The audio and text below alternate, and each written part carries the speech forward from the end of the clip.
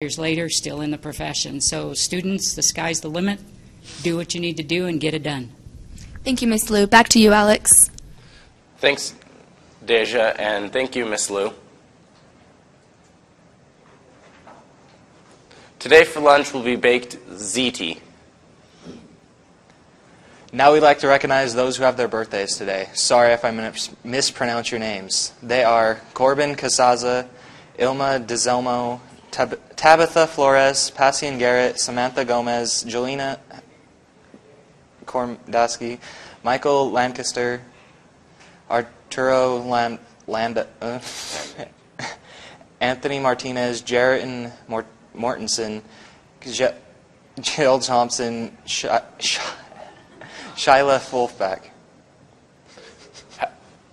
Happy birthday, guys. Let's go to Kenzie for today's weather. Kenzie, what do you have for us?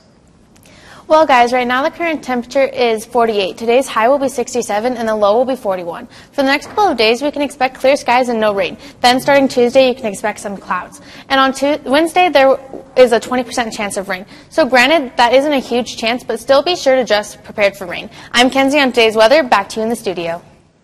Thanks, Kenzie, for that weather update.